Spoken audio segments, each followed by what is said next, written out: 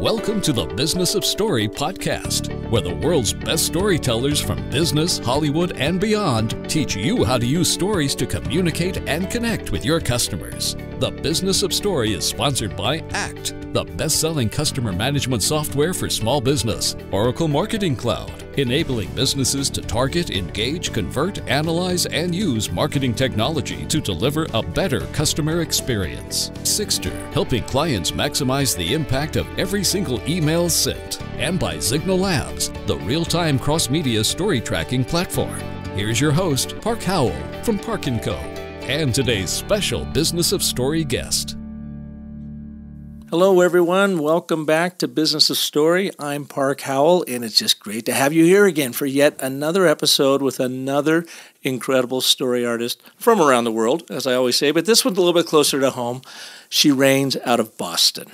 Now, we are very, very fortunate to have the first lady of content marketing, the person that Forbes magazine says the most influential woman in social media. And I can say firsthand, I saw her in action at social media marketing world for the very first time for me, anyways. She had an amazing presentation called Bigger, Bolder, and Braver. How our brands can truly own social media using the power of story and just really, really great, gripping content. Well, you may know who it is by now with just that quick introduction, but let me tell you, we are so fortunate to have Ann Handley on the show today.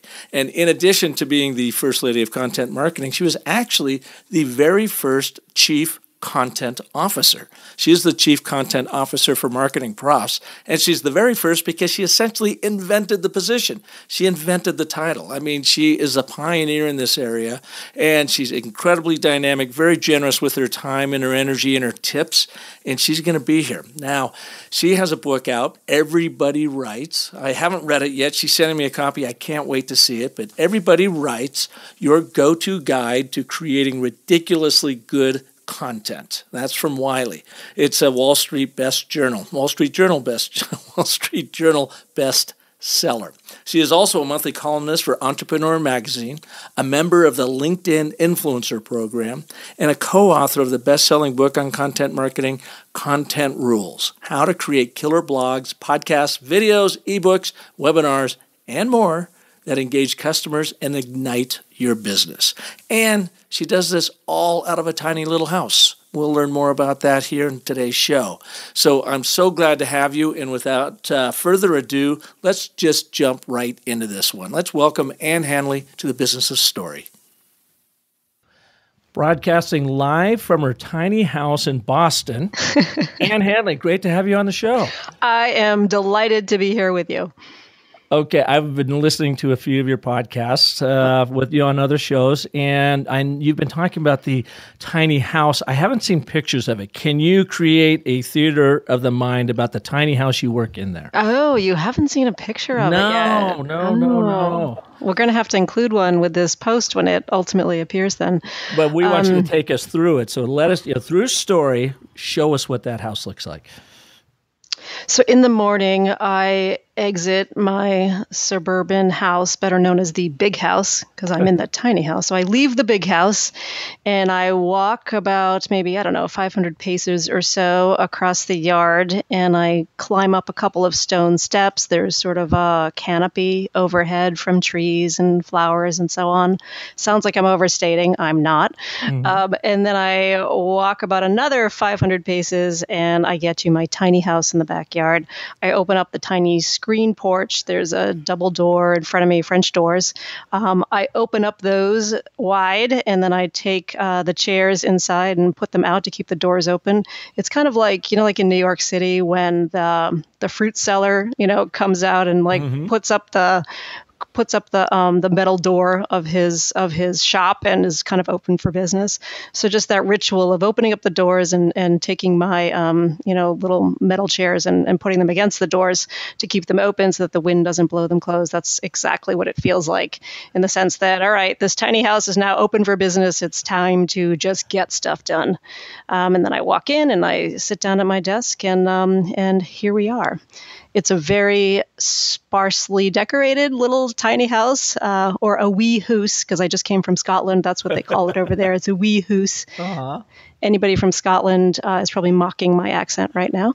but um, but anyway, that's what it is, and it's very spare inside. It's very sparse. There is no insulation, so it's just you know two by fours and wood um, with a wood floor. My tiny little dog is um, underneath my desk right now, um, and it just has literally a desk and some shelves and uh, an internet connection and electricity, and, and that's what, it what do you do in the wintertime if you have no insulation in there? Well, there's there's electricity, so there's uh there is heat in here. So you have a tiny little heater. I have a tiny little heater that makes yeah. a, a big noise because there's no insulation to drown out the reverberations of it.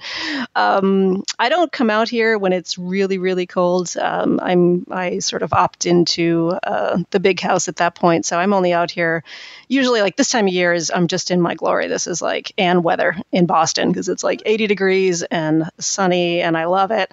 Um, but as soon as it gets you know anywhere below 20, I tend to just sort of stick to the big house. I got you. Yeah. All right. Well, thank you for taking us on that theater of the mind tour of your tiny little house. I just love the thought of the tiny little house. Or you can just look at a photo. I mean, that's yeah, probably well, we'll do that next, but that's more not expedient. as much fun. This is the business of story, after all. so, speaking of that, I understand you were the very first chief content officer ever in the entire universe. Is that right? I, mean, I believe did you so. Invent the title? I did invent the title. In fact, yes. Where did that come from? Uh, so I, previous to Marketing Profs, which is the current company that I work for, I co-founded a company called ClickZ.com uh, in 1997 when my daughter, who is now, now 19, was a newborn. Uh, so I founded that, and it was one of the first sources of really information for any business that was looking to market themselves on the web. You know, back then the idea of marketing on the web was was kind of a nascent thing. You know, the World Wide Web was kind of a nascent thing, right. um, and there wasn't a whole lot going on. And so we started a website to help businesses figure out how to do things like create banner ads and and put them on uh, other web properties. Eventually, we helped businesses figure out things like email marketing and listservs and that kind of thing. Uh, so it was very, very early on in, in, the process. And, you know, at the time, it was um, me and my then partner, and um, and he was the publisher and i was you know we called it kind of editor in chief but you know i co-owned the company it just didn't feel like it had the kind of gravitas that we wanted my title to have, you know, based on my contributions to the company and the fact that it was a content-driven company. Uh, and so we were just sitting around one night and um, and thought, what about you know, chief content officer? And we were like, what was content? Is that a thing? And so um, we went and and uh, and thought, you know, this is what it's it's going to be what it is. Um, but you know this was a time when you know people would look at my business card and go what's a chief content officer? You know what does that actually mean? Are you responsible for everyone's happiness? And i said yes absolutely because content makes everybody happy. Absolutely. And you uh, come from the journalism background right? Was it the I boston do. globe you wrote, wrote for yeah, so uh, I started my career as a business journalist and later went on to write for the Boston Globe and a bunch of other magazines. Um, I honestly, though, I never really had the heart of a journalist. Um, I always had the heart of a storyteller. And when I would be reporting on, you know, news stories, my editors would send me to cover like a fire, for example. And I was always finding the feature story, you know, in journalism, in journalism speak, right? I was always finding the the more interesting story. I didn't report on the fire and what time it happened and how long it took for the fire crew to show up and the damage and so on. You know, it was like all that stuff that you would report on if you were just a news reporter. Like to me, the more interesting story was, you know, what about that library of books that that homeowner had and, you know, what are they going to do now? You know, so I was always interested in sort of the underbelly of the news story, mm-hmm. the human piece of it. Um, and so you know, like I say now, I was actually a pretty terrible news reporter because.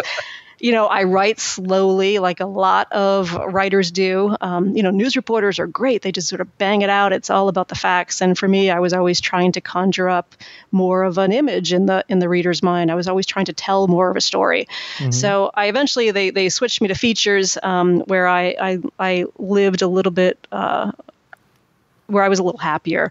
But um, but you know, journalist journalism was really never for me. Um, and then you know, the internet happened, and I thought, oh, I can do that. You know, let's mm-hmm. let's take what I know from the world of journalism and port it over into this thing called the internet. Um, because at the time, most of the websites were not content sites; they were they were like brochureware sites. You know, it was just you would go there and find out you know the basics of you know what time is a business open or you know where are they located, what do they look like, you know that kind of thing. Um, mm-hmm. And so, really bringing that that journalism background, that content mindset to businesses was what I was really interested in doing, and, and that's essentially what ClickZ was all about. Gotcha. So you did not come up through the ranks of a trained marketing writer, copywriter, whatever. You really came from the journalism slash storytelling angle. Saw the new platform of the interweb back in 1997, which, by the way, wasn't just a network of wires and tunnels at that point. And you right. Were, um, but now you are the chief content uh, officer for Marketing Profs. So yes. your whole reason for being, at least in the business world in this one area, is to teach others to learn what you've learned throughout this whole process of how to tell better stories online to engage customers, I guess, without oversimplifying. Yeah, that's exactly it. I mean, it's I, I am a uh, a storyteller first, a writer first, and a marketer second, and I've sort of assumed the the skills of a marketer, you know, just basically through living in this world, you know, and, and walking this path. But at the same time, I feel like my approach is very much as a, a journalist, you know, is is coming at it from an audience centric point of view, which is really what journalists do, as opposed to a corporate centric point of view, which is what many marketers are trained to do. And so, really, what I feel that I can value, what what I offer marketers, what what I value most is giving them that sort of mindset, you know, of really helping them to think about the content that they're producing, the stories they're telling from a customer's point of view. Um, it's the, sort of the thread that runs through everything I've ever done, from you know, from books or or speaking or any bit of web content that I've ever published or produced or written. You know, that's always my sensibility. Think of the audience first. Mm-hmm.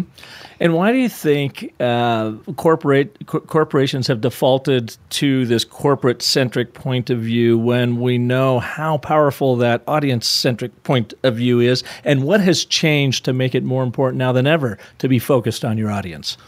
Yeah, I mean that's a good question. I think I think fear is a big part of it. You know, the the notion of telling stories to engage an audience. I mean, even though it's it's we know it on some level, I still think that it hasn't been truly entrenched within a lot of organizations. You know, a lot of organizations are still very much in the the marketing speak. You know, they're still very much into communicating through the, that corporate messaging.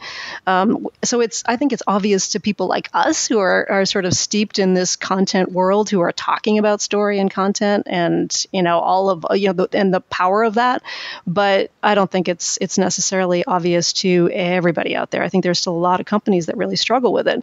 And why are they still struggling with, with it? It's because you know marketing this is a new skill set for marketing. You know marketing has always been about you know how how do we actually tell um, you know talk about ourselves you know in order to to reach as many people as we can. And increasingly you can't do that. You have to talk about why it matters to the people you're trying to reach. It's about putting your products and your services, what you do, who you are in the context that people will care about.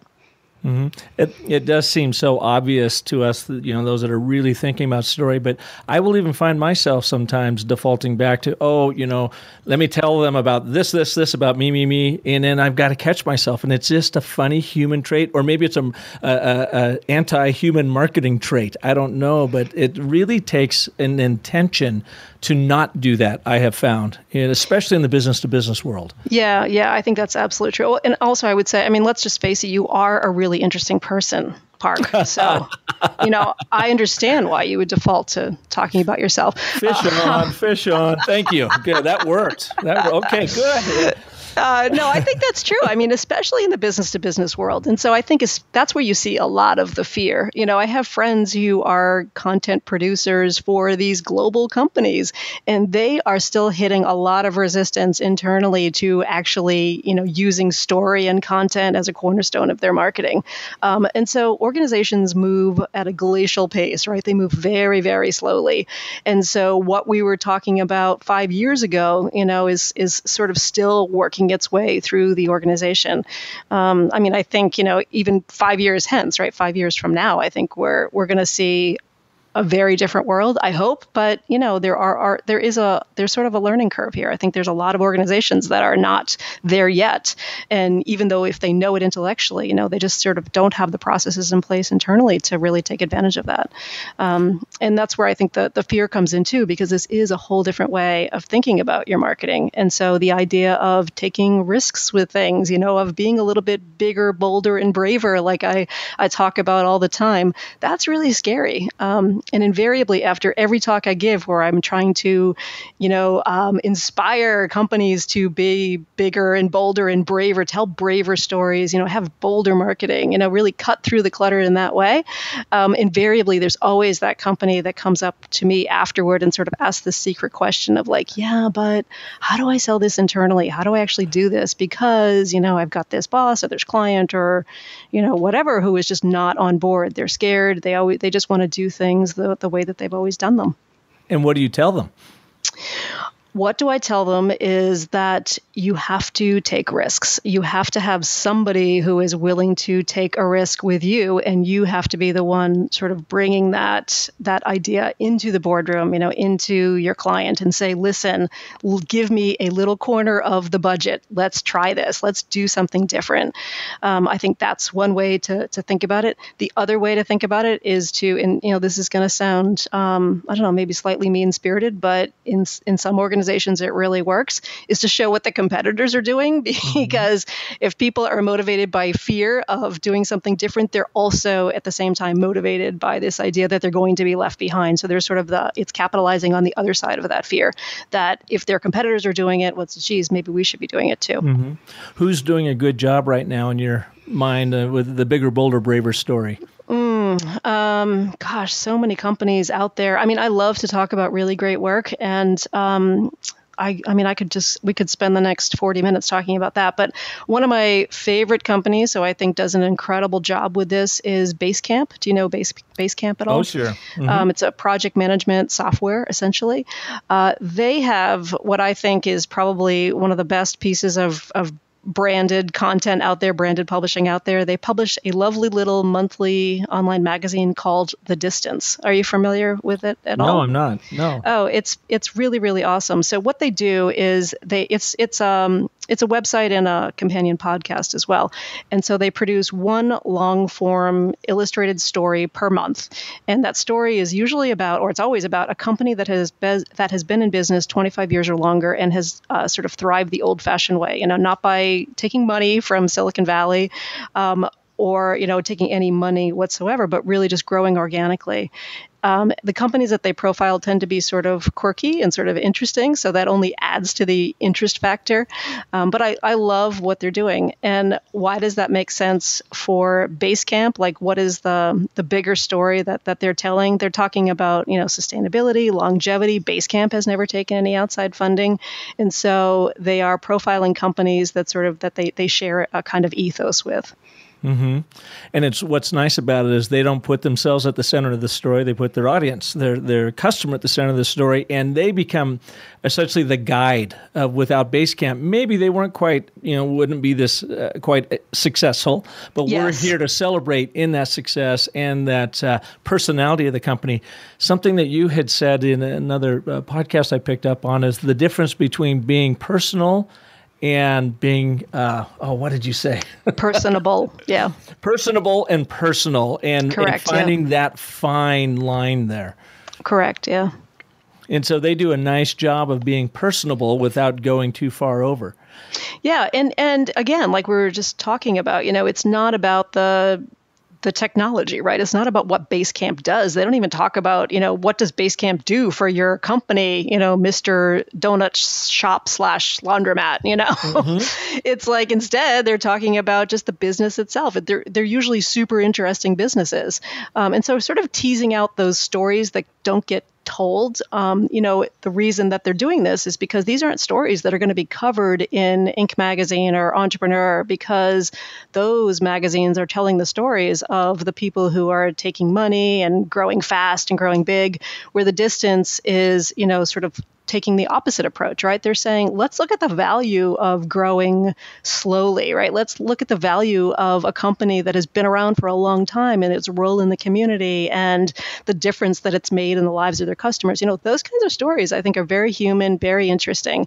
Um, and so, like in my mind, that's a great example of big, bold, and brave. Um, the other reason I like it is that they spend a lot of time on the storytelling aspect of it. It's it's you know in our world where everybody is like you know short and snacky and snappy. The mm-hmm. Basecamp's, the distance is in depth. It's long form storytelling, um, and it's edited by a former journalist. I think she worked for the Chicago Tribune, if I'm remembering correctly.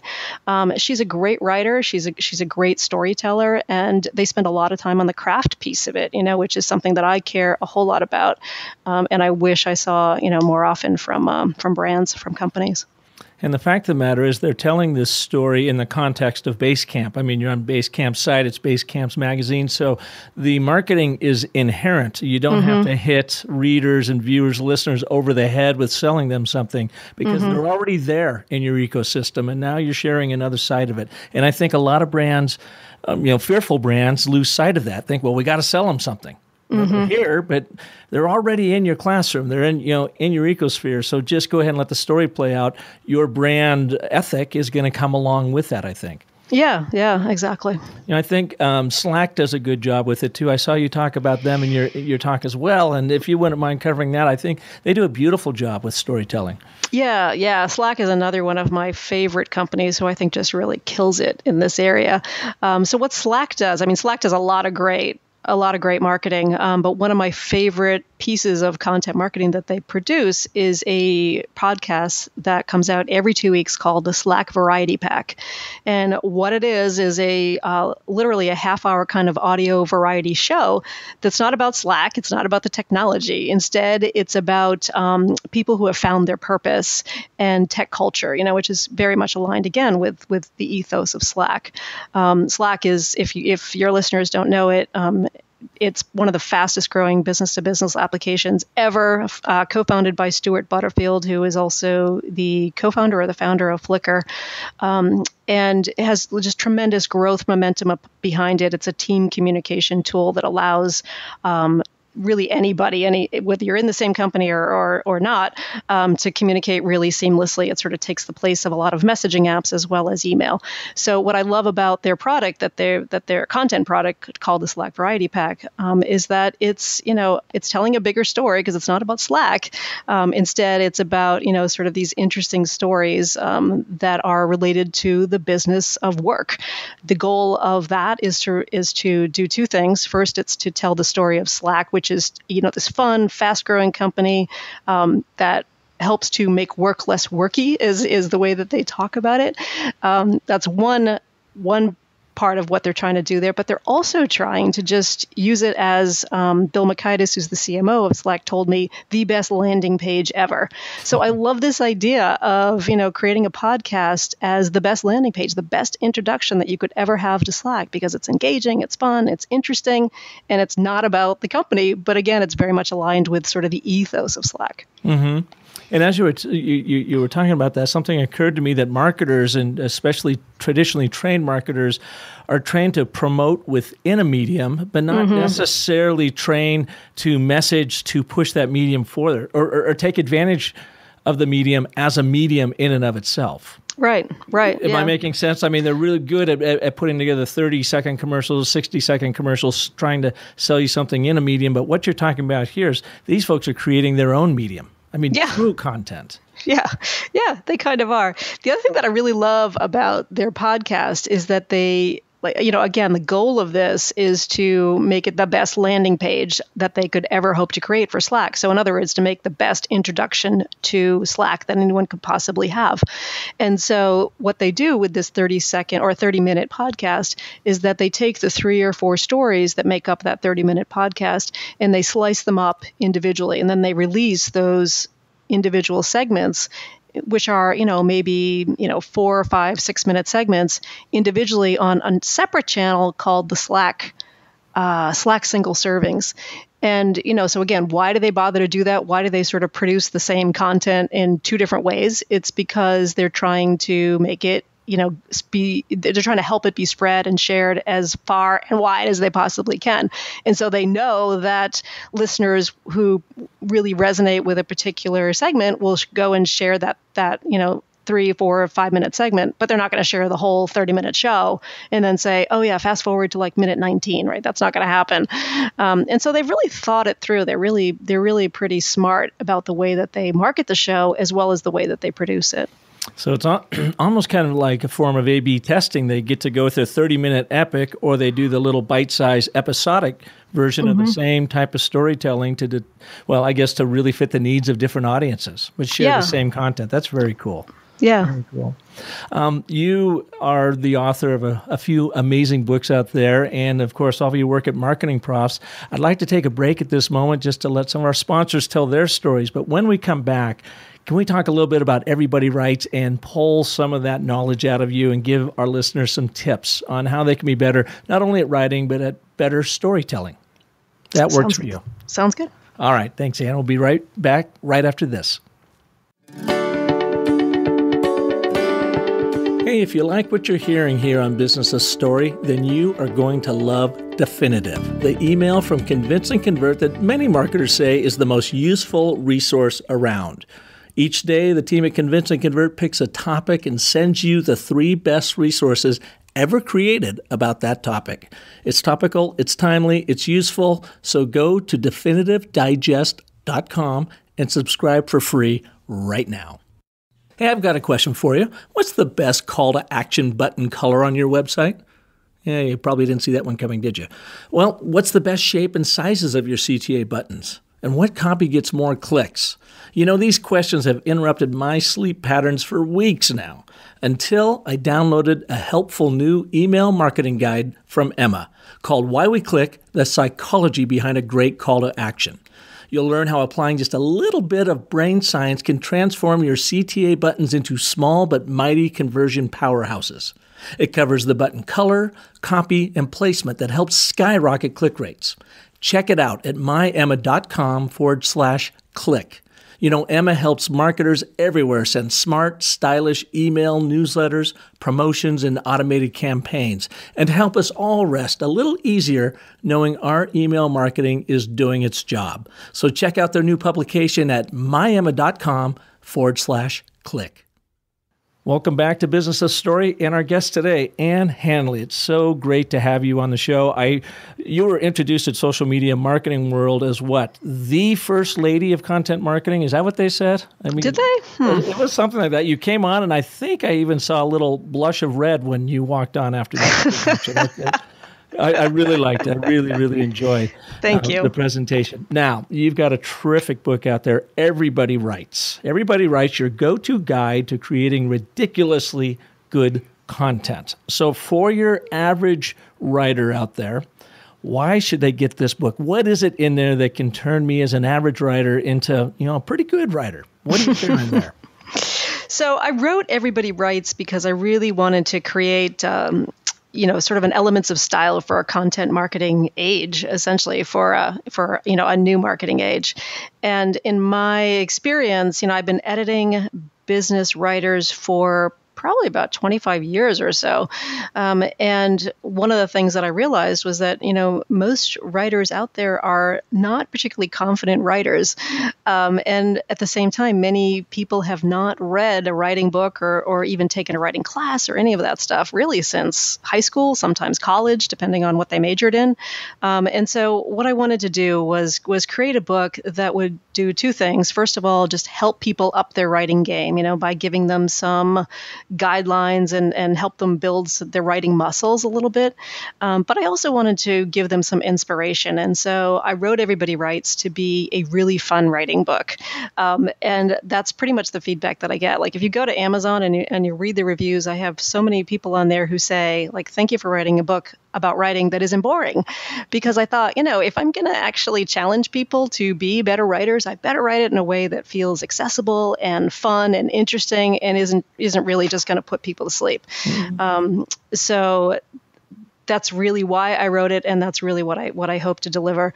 Each one of the chapters, I, I, I can't remember exactly how many chapters there are. There's like seventy something chapters. Mm. I think that that's um, that's part of Everybody Writes, and uh, I really wanted to, I wanted each one of those chapters to feel really accessible. You know, I wanted you to be able to open it up at any point and just sort of start, you know, reading about something you feel like you needed help with. Um, and to make it, like I said, inherently readable and memorable and just sort of fun. Are there two or three tips that seem like they're really universal across the board? They're like the go to low hanging fruit tips that everyone should do to just start upping their game in writing? Hmm, that's interesting. I mean, I think the biggest thing that I see poor writers doing is not taking the time to self edit. Um, a lot of, of, of, early bloggers, I think, you know, sort of have, fall into this category. You know, people think that writing is really just barfing up that first draft and then publishing it. And I think it's you know that's that's disrespectful of the reader you know ultimately. But i also think it it's, doesn't really do much for you. I think it's much more effective to you know barf up a post or throw up that post you know. What i mean by that is there to sit down and just you know like right through everything that you just i just did a, a motion by the way like when i just did that. That was like my hand motion in the background which you can't see. I um, but uh but yeah so that puts a picture in your head, I guess maybe not a very attractive one, but um, but what you know what I want people to do is is like think about that first draft. You know, just just say what you want to say, get everything out there, um, and then give it some space. Like sort of let it ripen overnight. You know, as as um, like the way that a a rock hard avocado might if you put it inside a paper bag on your kitchen counter. You know, let it ripen into something that's a little bit more um, more friendly. You know, mm-hmm. so then go back the next day and um, and really what what I talk about in the book is swapping places with your reader. You know, so so you write something, you barf it up, and then you go back the next day and you sort of think about it from the reader's point of view. You know, is this does this make sense? Um, you know, am I actually respecting the reader's time? Do I understand what I'm trying to say? You know, is my point clear? Um, going through that list of questions that I um, that I, I I have in the book. And I think just that alone would make such a huge difference in terms of the readability and um, the the articulateness of, mm-hmm. of most business writing out there.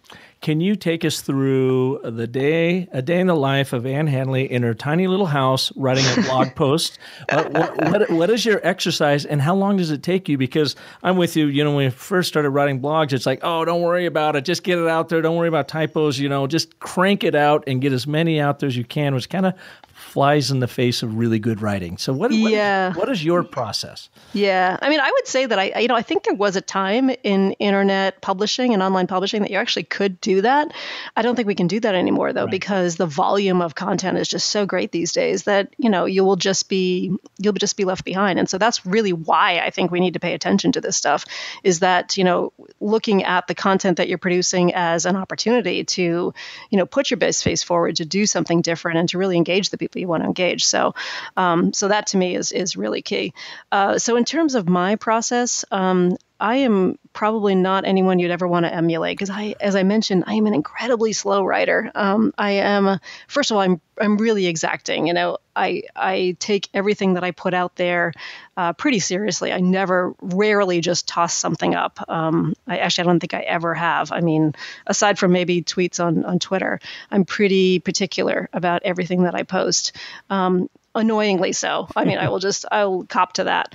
Uh, but my process is really to think about what I'm what the main point that I'm trying to make in a particular blog post, and I I write it at the top of the page, whether I'm writing it out like in a, in a notebook, which I sometimes will do, or or you know just typing it in a, in a word doc or something like that i try to encapsulate what i'm trying to say you know in a in a sentence before I begin a piece just because it it sort of it functions as kind of a, a beacon on a beachhead you know it kind of mm-hmm. gives me a direction to, to go toward um, so I'll do that and then because I have kind of a a tendency to procrastinate in my writing I will write a literally a grocery list. It looks like a grocery list of the key points that I think you know that I want to make in in a particular piece. Um, and so making them as key points as as kind of um, like bullet points or like a grocery list, it it makes me feel like it's a little more doable. Because um, you know it's writing is hard right? Mm-hmm. writing is can be really uncomfortable even for people like me who love to publish. Um, i still don't particularly love writing. I love to have written you know like a lot of oh, yeah. a lot of writers i think would agree with that. Um, so that's kind of my process and then i just start to put flesh on the bones of those particular bullet items from there and the first draft is spectacularly ugly. I mean, it's really ugly. It's not just like, oh yeah, you say that's ugly in the way like, you know, oh, I know I, I don't look very cute today, just so people will say, no, oh, you look really cute. It's, it's not like that. It's that it's really bad. Um, and uh, so I really definitely need to set that aside and usually I'll come back to it a couple hours later, sometimes the next day, depending on uh, what I have going on. And and on average, how long does it take you from start to finish with, for a blog post? Oh man, um, that's a that's an interesting question. I don't know if I could really quantify it. I guess it's probably a couple of days from mm-hmm. start to finish uh, if I really am focused on it. Um, yeah, I mean, like I just published a piece on my own blog last week, and I think that that post took me about a week to do, but it was a little bit longer. And I was also traveling a bunch in the middle, so I was, you know, I kind of had a, I had a fractured approach to it just because of um, of travel and just not really being able to focus on it. So I, I think on on average, though, probably a, I would say for me a good a good four or five days. I mean, that's not consistently working on it. That's right. setting it aside, picking it back up again. Um, but yeah, it does. It, I'm I'm a slow worker. When it, I was in what when I was in fourth grade, I'll, I'll just say the quick yeah. aside. When I was in fourth grade, I got a report card, and my teacher wrote on the report card, like in the comment section for my parents, she wrote, uh, "Tries hard but works slowly." And I thought for the longest time that I was impaired in some way, you know. And uh, now I realize she was pretty much right on. I do try really hard, but I'm a really slow writer. I just am. Those fourth grade teachers are like the wicked witch of the West. That that stepmother. That it's just like I mean, come on. I just we recorded a guest an hour ago on the show, and she also talked about a fourth grade teacher that oh, disparaged really? her in her storytelling. And I can think of Mrs. Ring, my fourth grade teacher she would backhand you, and you had to be ready to be, to duck because that would go flying right over top of your head. And if she wow. got a little bit of your hair, it really pissed her off. If she missed you altogether, it didn't seem to bother her. But if it was a glancing blow, it was a problem for her. and then my final question in your process, Ann, do you have a set goal, a number of podcasts or I'm sorry, blogs that you want to put out a week, a month, or whatever? Are you caught up in that sort of mill of cranking them out? It doesn't sound like you are, but you know, I mean, a lot of us have like, man, I'd like to get at least one, if not two, really good if I get three out in a week. But then they just kind of sit in your psyche and eat away at it, at you when you can't get to them or spend the amount of time on them that you do. Yeah, yeah, no, I mean, I, you know, I mean, if you looked at my personal blog at annhandley.com, you know, you would see that I published a post in December and I had a you know pretty good cadence going before that, and then it was pretty much you know crickets until last week. So I, I had a really good long stretch there where I didn't publish anything.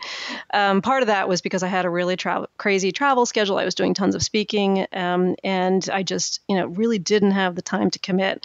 It actually was terrible for me because you know, it, th- there is this sort of, um, it, there, there, was sort of this worm that got in my head that was like, you know, I had this fear about publishing again on my own blog after a six month hiatus because, you know, I just had this sense that, you know, it's, it has to be really, really good because I haven't been on there for six months. And so I sort of built it up into way too much.